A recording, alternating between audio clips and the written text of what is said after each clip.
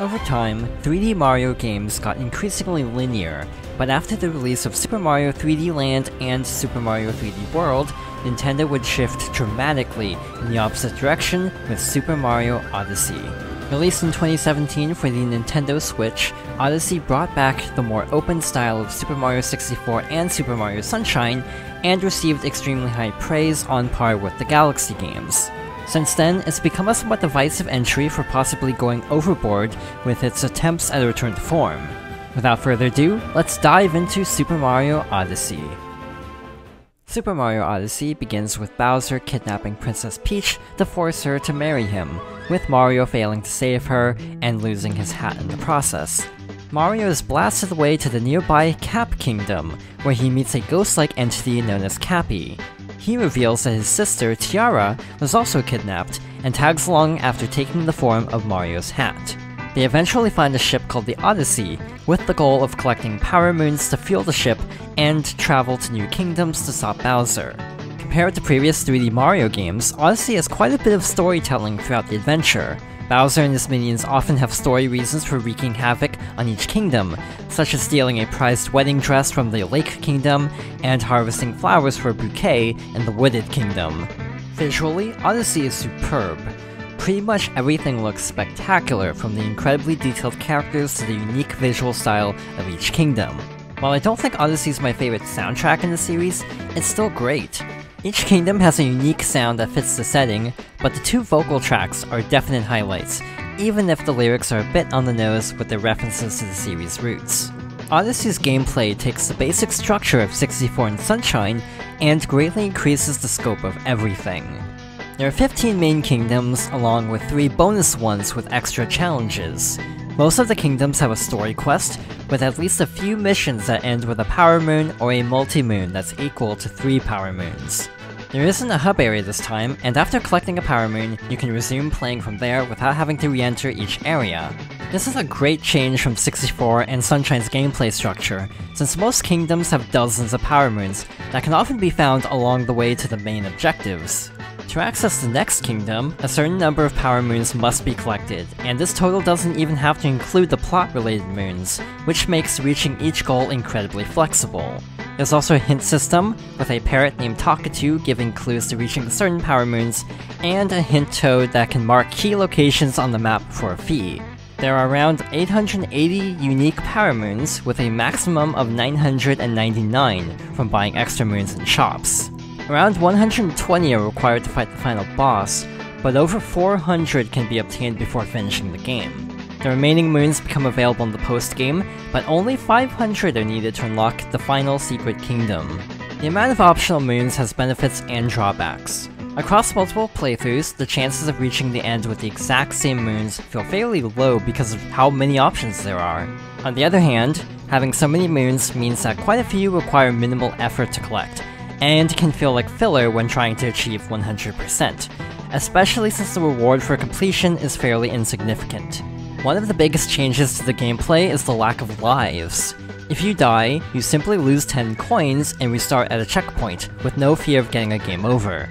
Coins are used to buy costumes or power moons, and many of the outfits are charming references to past games in the series or to other characters.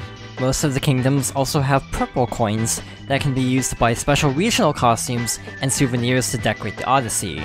In February 2018, a new mode called Luigi's Balloon World was added for free, by talking to Luigi in most kingdoms after finishing the game, you can either hide a balloon for other players to find, or hunt for balloons that other players have hidden. Each balloon has a time limit and an entry fee, and tougher challenges require more coins, but give more coins in return. While this is completely optional, it's a fun way to test your ability to quickly navigate through certain kingdoms, and is also great for quickly collecting coins to unlock all of the outfits. There's also amiibo support.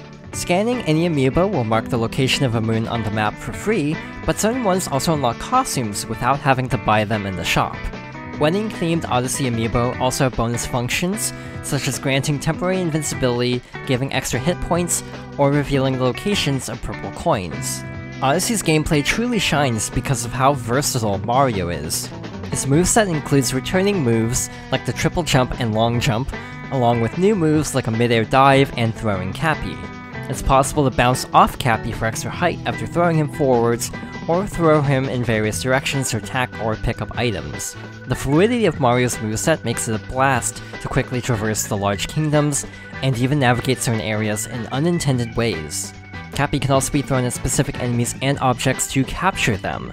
Capturing something allows Mario to control it, leading to even more options to explore certain areas or find specific moons.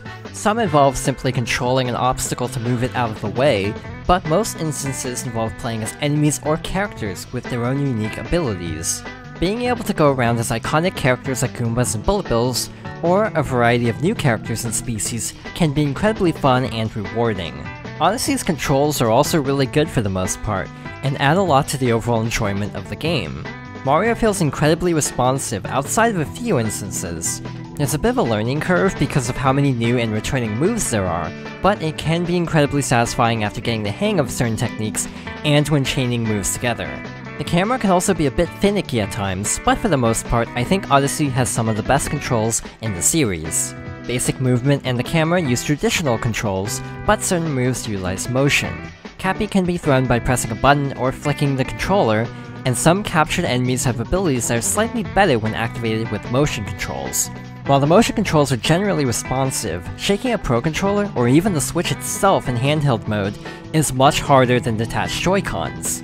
There aren't many moons that require the motion exclusive moves, but a way to perform these moves with a button would have been a welcome inclusion. There's also optional gyroscope aiming for certain capture forms, but even as someone who usually likes this feature, I find Odyssey's gyro sensitivity to be a bit off, and prefer using the right analog stick instead. Despite its flaws, Super Mario Odyssey is one of my favorite games in the series. The gameplay and level design are top-notch, but I do wish there could have been fewer moons in favor of more interesting objectives. It doesn't help that I got everything on my first playthrough when the game launched, so the thought of collecting everything again isn't particularly appealing in comparison to how straightforward some of the previous games are to complete. On the other hand, the game feels a bit short when going for the minimum requirement, so I think collecting around 500 to unlock the final kingdom might be my preferred way to play it in the future. To some extent, I still appreciate the ability to decide how long this journey is, and the wide selection of moons to collect as a way to incentivize exploration for those who are interested. If you're having a blast with the game, you can spend dozens of hours thoroughly combing each kingdom for every collectible, but you can also get to the end fairly quickly if you stick to the main path. With that, we've gone through every 3D Mario game as of now. I really enjoyed getting to revisit a few of my favorite games ever, and it was also nice to have a reason to go through the ones I haven't played in years. With the 35th anniversary celebration continuing into 2021, I'm excited to see where the series goes from here. At some point, I'd like to go over the 2D games, and even some of the spin-offs, specifically more of the JRPG side of the franchise. But for now, I think I'll take a break from Mario reviews for a bit. I hope you enjoyed this look at one of my favorite franchises, and thank you for watching.